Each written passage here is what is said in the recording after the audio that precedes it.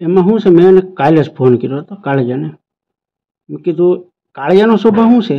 કે એ આમાં ગાંગો થઈ જાય.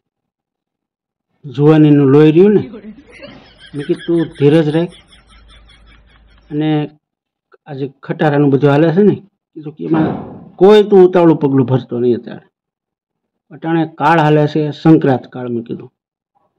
સંક્રાંત સંક્રાંત એટલે એક આપણે એક કાળમાંથી બીજા કાળમાં પ્રવેશ.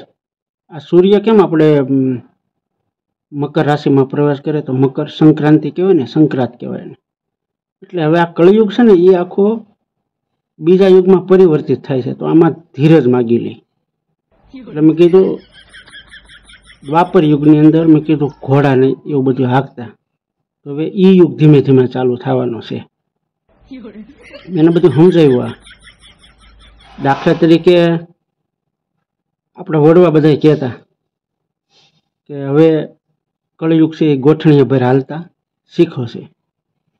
તો હવે આ સમય એવો આવ્યો છે કે કળયુગ હાલતા શીખી ગયો, ઊભો ઊભો. પણ શીખવામાં શું થયું? અવળા પગે હાલતા શીખો. એટલે હવે કળયુગ પછી સતયુગ નહીં આવે. ફેરફાર થયો. પાછો દ્વાપર યુગ આવે છે. અને દ્વાપર યુગની તો તને ખબર છે? દ્વાપર રીપને તો ક્યાંથી આપણે ખબર હોય. ધ્યાન, ધારણા, સમાધિ ને બધું કરો. દ્વાપર યુગની અંદર આપણે તને ગદા વાગી હતી, ખબર છે? ગદાનું માથેનું ટોપું. તને યાદ નથી? મારી સ્મૃતિમાં છે, હું તને કહું છું. કે એ સમયે આપણે જે બાજુના ગામમાં રહેતા, તે આપણા માવતર બધા આપણને કહેતા કે ગામ બારા નીકળતા નહીં. મોટા પાયે માથાકૂટ થઈ છે. બાથનું હાલે છે.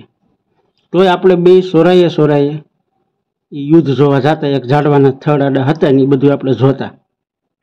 પછી ઓલા ભીમે ગદા મારી દુશાસનને માથેથી ટોપ ઉડી ગયું અને તારા માથામાં વાગ્યું. વાગ્યું તો? તને સ્મૃતિમાં હોય. અને ઘેરે ખબર પડી ગઈ હતી કે આપણે બે એ જોવા ગયા હતા અને પછી મેથી પાક ખાધો હતો. બે ખાધો હતો મેથી પાક. મને યાદ છે. એટલે મેં કીધું દ્વાપર યુગની અંદર જે ઘોડાનો યુગ હતો ને એ યુગ ફરીથી આવવાનો છે. એટલે ગમે ત્યાંથી ઘોડા હાથ કરી મૂકી કીધું.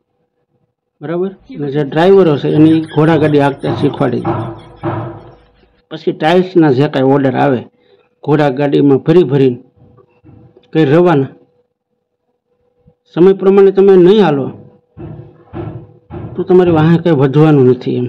સમય પ્રમાણે માણસને બદલવું પડે. આખું યુગ પરિવર્તન છે એમ સંક્રાંત કાળ, મેં તને કીધું ને, સંક્રાંત કાળ એ છે.